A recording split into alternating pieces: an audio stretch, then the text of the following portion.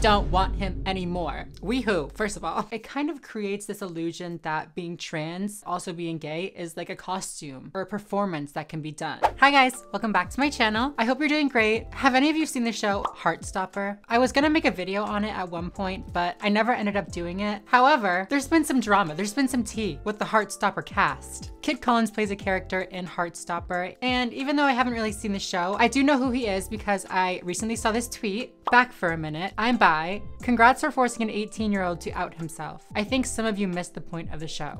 Bye, bye girl. So dramatic. Sorry, it's not dramatic, it's reasonable. So I did a little bit of digging and apparently people were accusing Mr. Kit Connor of queer baiting. Personally, this sounds very familiar. The whole, this person's queer baiting, this person's queer baiting, blah, blah, blah, blah, blah. A little while back, they were saying that Billie Eilish was queer baiting. I made a video on that if you're, you know, looking for a video to watch.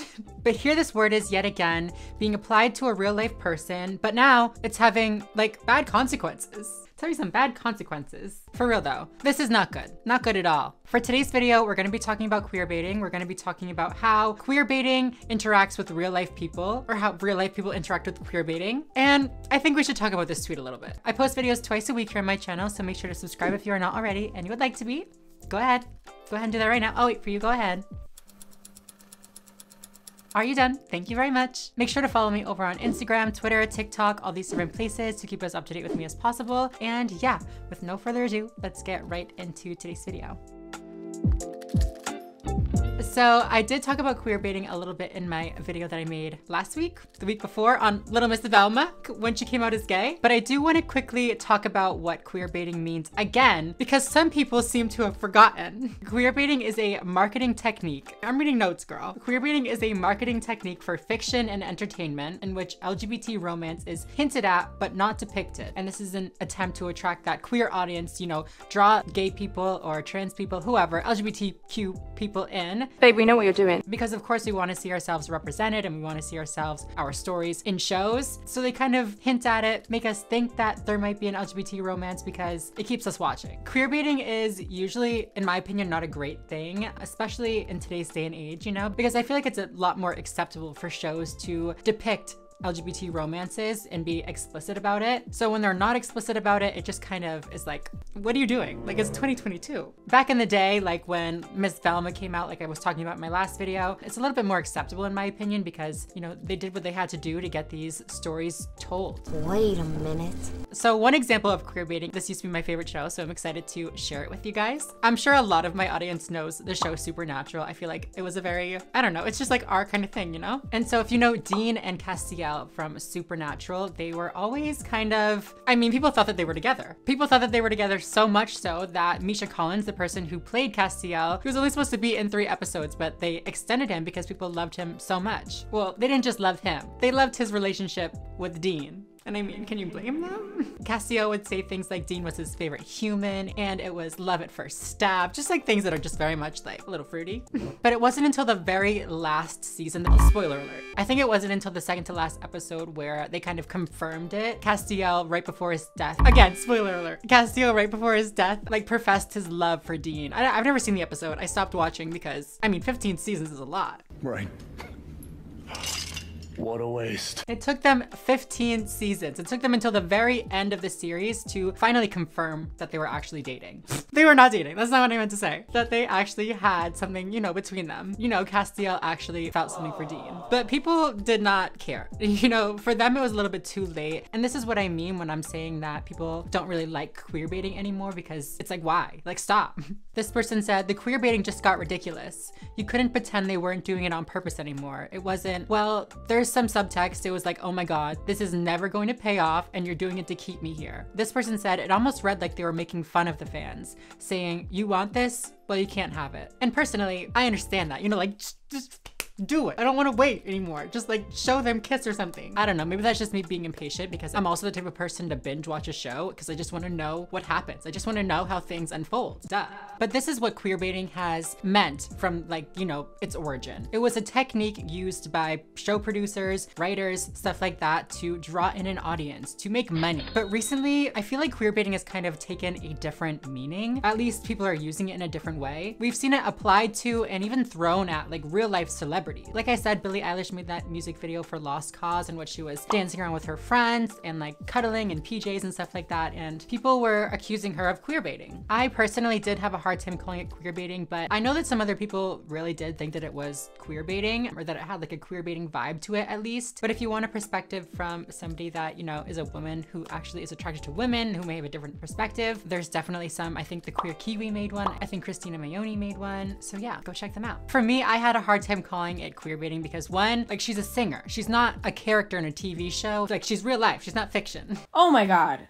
I know. You could argue that, you know, since it's in a music video, it's a form of entertainment. So yeah, that's valid. But to me, queer baiting is a consistent like teasing of the audience. You know what I mean? It's like something that's repetitive to the point of being like annoying, like we saw with Supernatural. So again, not only is she not a character in a TV show, but it's not something that she's continuously doing over and over and over again. It was just that one music video and that was it. For that reason, I don't really think it's fair to put that label on her. And that's why in that original video I made, I said it, I didn't think it was fair. But even if we were to throw this queer baiting word at Billy or like at Kit, like we are seeing, what are we trying to accomplish? when we throw this queer baiting term at TV shows and at characters on TV shows, we can hold somebody responsible. We can hold the writers and people like that responsible because it's like, just give it to us. You know what I mean? Like, you know the tea and it's not like this big coming out thing that you have to do and it's not like this personal thing. It's a character. Like, they're not even real. When we hold real life people accountable like this, it forces people to come out like we're seeing. I feel like our community is pretty understanding of people when they, you know, aren't ready to come out. We tell our loved ones and our friends, our family, people like that, that coming out is our own journey. It's our own personal thing to do. That it should only be done on our own terms, on our own time, to the people that we choose to come out to. Why are we suddenly not extending that same graciousness to celebrities? But also, what are we telling people when we claim that they're queer baiting when they just show a little bit of like sexual fluidity or anything like that? like with Billie Eilish, it's not like she was making out with other girls or like in a relationship. She was dancing around with like 10 other girls, like in pajamas playing Twister. Like it, it was like maybe a little bit, I mean, I don't, I wouldn't even call it sexual, honestly. Don't we think that straight women should be allowed to express some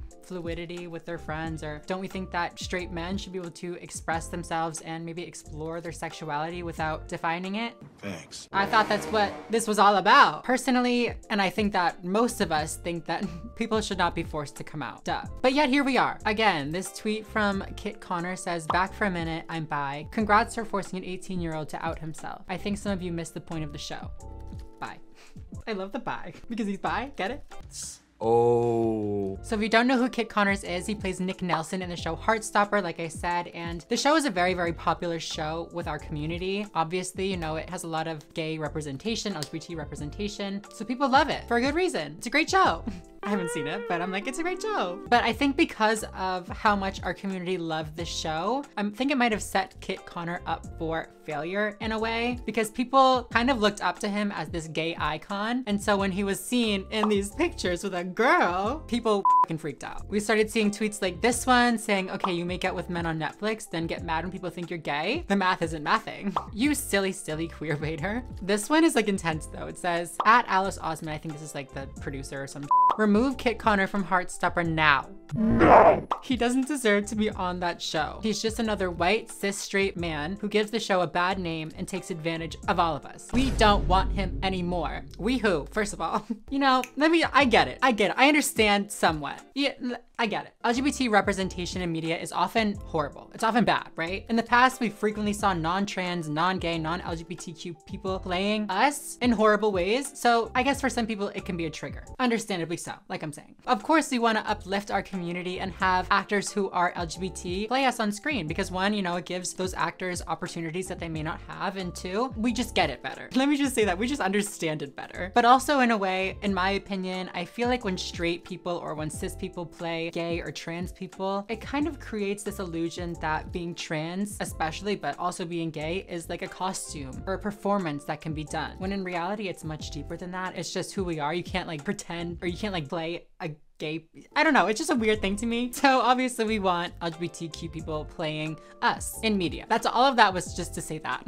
but all of that being said, when people were accusing Kit of queer baiting and, you know, we didn't know his sexuality. We saw a picture of him holding hands with one of his co-stars. We're gonna assume that he's straight. This is, it's just so ironic to me because the people that are upset about this are like fans of the show. So like, have y'all been paying attention? Like Mr. Kit said, have y'all missed the point of the show? In the show, we see one of the characters being outed and we see them bullied and we see the effects that it has on their mental health. The literal theme of the show is about not putting people in boxes and stereotyping them when they're trying to figure themselves out. But now here we are, doing the thing that our favorite show says not to do. The thing that the show that you are defending is saying not to do. I personally do feel bad for Kit. He fortunately was shown a lot of support from this tweet when he came out, but still, he shouldn't have had to do that. It's just sad. It's just very, very sad. Coming out should be like a happy thing, in my opinion. It should feel like a weight lifted off of you, and I can't imagine that this was a pleasant experience for Kit at all. So yeah, I don't know. I just think that we need to not do that anymore. What do you guys think? Has this whole queer baiting thing gone too far? Has it not gone far enough? Personally, I think that we should keep the queer baiting accusations to characters in TV shows. Maybe a movie character even, but definitely leave the celebs alone. But okay, you guys, I hope you liked this video. If you did like this video, please make sure to give it a thumbs up down below. Make sure to comment, make sure to subscribe if you're not already and you would like to be, all that kind of stuff. But yeah, other than that, I think I'm going to go. So thank you all so much for watching and I will see you in the next video. Bye everyone.